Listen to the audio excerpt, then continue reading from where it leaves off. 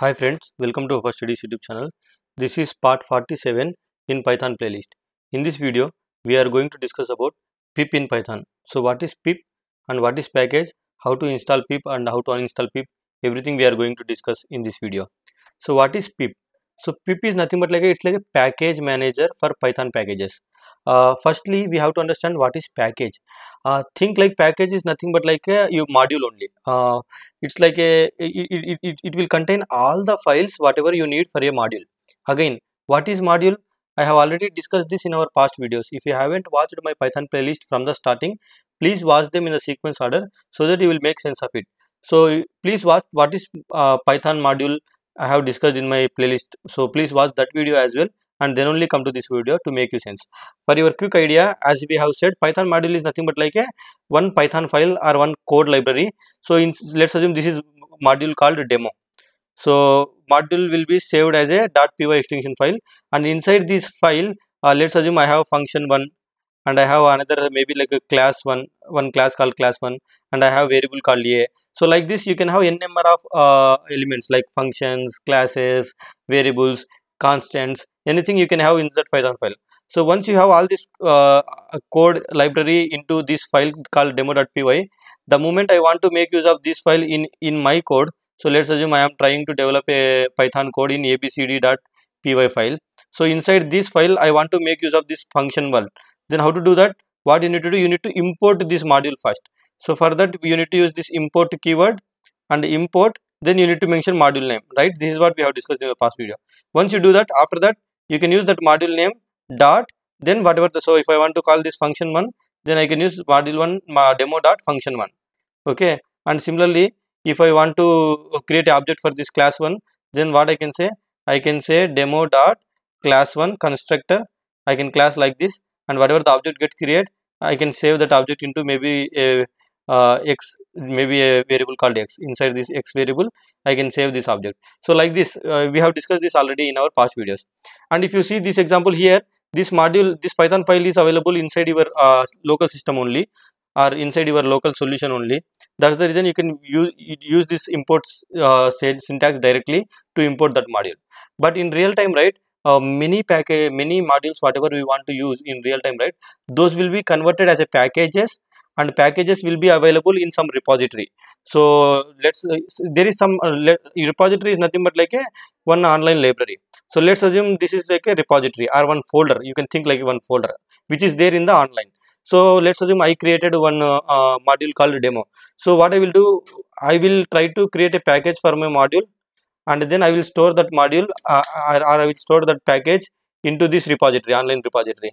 This is called py pi so this is called python package index. So inside this python package index we will try to store all the packages. Not only you every community member in the python right? Whatever the modules or whatever the packages they create they will store all the packages into this pypi.org website. So think like this is like an online repository. So now in my local system let's assume this is my local computer. So here i am writing my python code. So this is my python file let's assume. So in this file I want to make use of this demo dot uh, this demo module or this demo package. How to do that? For that there is something called pip software. Using this pip software you can fetch the libraries from that repository or fetch the packages from that repository and install them into local system. So that means demo module or demo package will be installed in your local system. Once this installation done then inside your python file you can use that uh, same import syntax. So import then demo.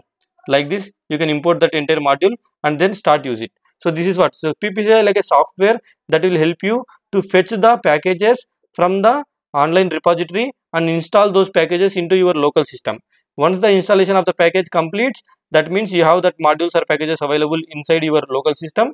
From there you can use the import syntax to import any module into your python file. So if all this is not making sense let me go to visual studio code and let me practically show you that. So let me use this import syntax. There is a module called uh, camel case actually.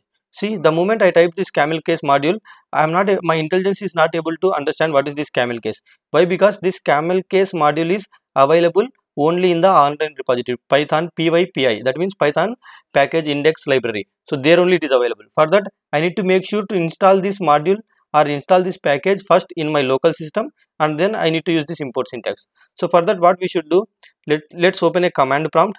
So it is a command line software actually whatever I said right it is a command line software. So here inside this command line software uh, inside your system you should have this pip installed first. So how to make sure whether pip is installed or not for that what you need to do uh, go to this path cd space then let me type this uh, let me use this uh, path one second i will show you that so you have to okay inside this path. So you need to make sure your command prompt go to this path. And there once you navigate to this path in your local system using command prompt here try to see use this command pip hyphen hyphen version. If you use this this is going to tell you what version of the pip is installed in your system. If it says i am not able to recognize this pip and all that means pip is not installed in your system. So if you want to install pip you can very easily do that. So let me go to this uh, code here. So if so uh, if, if you have this python version 3.4 already installed in your local system that means pip will be there automatically by default for you you, you no need to install if it is not there then only you need to install the pip so to install the pip, you need to navigate to this URL and install it. Or you can search in the Google like pip download something like that. It will take you to this website and download the pip from there. So basically, if you have seen my previous videos, we have installed Python in our the starting videos, right? So and we installed Python 3.9, I think. So let me go to uh, command prompt again and let me see what is the Python version installed there. py hyphen hyphen version. So if I use this command, it will tell you what version of the Python is installed. See, I have 3.9, which is higher than 3.4 right so since it is higher than 3.4 pip is already installed and i have seen what is the pip version installed also. So pip is there in my system. Now once the pip is there what i need to do? Pip space install. Then i need to use the package name. So my package name is camel case. So once i hit enter then what it will do? Pip software is going to find that uh, okay there is a spelling mistake there. So let me create pip camel case. This is the package name. So once i hit the enter here it is going to take that collection from that online repository python py.rog website and it will try to install that package. I will show you that website I also practically. Let's wait for the installation to complete. See here successfully installed camel case. So now since the uh, uh, how to make sure whether this package is installed or not or how to see whatever the package is installed in my local system if you want to see that use this pip syntax space use this list command. So once you use this list command here it is going to list down all the packages which is available in your local system. See right now all these packages are installed. See even camel case is installed. There are a lot of other packages which are automatically installed in my system. I think when i am installing the python all these came by default. So anytime if you don't see whatever the desired package you want for your code then try to use the pip syntax and pip and then try to use that install command to install the package like how i did it here now let me go to visual studio here. Now i have installed this camel case right? So now let me save these changes. Still you see that error. Why? Because we, ha we have already opened this visual studio code before installing that package. So let me close this now and then let me reopen the visual studio code. Once i reopen the visual studio code the next time i should not see that error. So let me wait for visual studio code to open here. So so visual studio code is getting open oh sorry i opened visual studio. Let me close this and let me try to open visual studio code here. Uh, it's my bad. One second. So i should type visual studio visual studio code right? So this is what the software what i am intend to open. So let me open this software now and let's wait for the uh, demo.py file to load here. Great. Visual studio code is installed. Now uh, see if you see this uh, uh demo.py file here. So let's wait for the uh, uh visual studio to code to completely load here. So it, it is loading all the extensions and all the packages. So we need to wait for a couple of seconds to get reflect our changes. So we have installed this camel case package in our local system right? So this python file is going to identify that package and it is going to uh, highlight this uh, color of this camel case is in a different color. Why? Because my IntelliSense will able to understand what it is. See it is it is able to understand now now inside this camel case uh, there is a class called uh, camel case. So inside this camel case module dot so there is a class called camel case. So let me use this class. So let, let's try to create a object from of that particular class. And let's try to store that object into a variable called c. And then let's assume i have a text here called maybe hello mahir basha. Okay. Now what i will do using this camel case object there is something called hump function available on that class that is going to convert whatever the text you pass into camel case format. So let's use this hump function. To the hump function i am passing this text variable which holds hello mahir basha and if you see everything is small letter here.